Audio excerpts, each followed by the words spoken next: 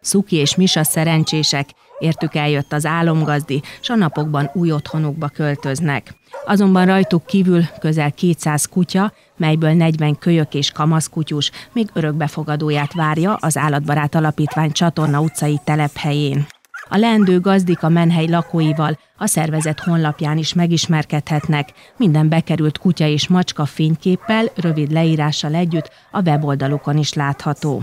Örökbefogadás esetén a kutyák oltva, féreghajtva, csipelve, a felnőtt állatok ivartalanítva kerülnek új otthonukba. Az alapítvány telephelyén az őszi-téli időszakban a zsúfoltság általában tovább fokozódik. A tapasztalat az, hogy ilyenkor lényegesen csökken az örökbefogadási kedv.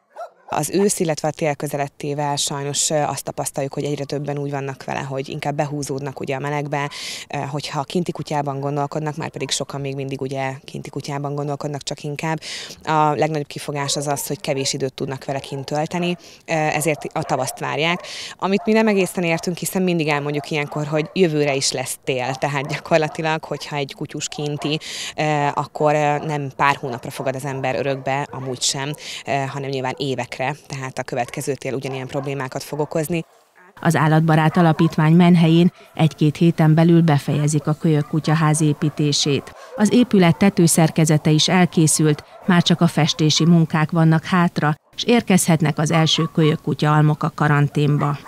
Ez egy nagyon régi álmunk és vágyunk volt. A beérkező almokat nagyon nagy, nagy veszélyek fenyegetik. Nem titkolt az, hogy ugye a parvóvírus, mint olyan, az jelen van, egy menhelyen pedig fokozottan, hiszen ugye ismeretlen elő, előéletű állatok kerülnek be hozzánk. A kölyköknek ez egy halálos, vagy nagyrészt halálos kimenetelő betegsége, ez egy fertőző bélgyulladás, és éppen ezért nagyon fontos, hogy az első két oltásig gyakorlatilag hermetikusan elzárjuk őket mindentől, mind látogatóktól, mind más kutyáktól, illetve hát sok esetben, hogyha beteg kutyus van ugye egy alomban, akkor akár egymástól is, ha ezt a helyzet megköveteli. Az új épületbe támogatók segítségével 8 hőszigetelt szendvicspanel kutyaházat vásároltak.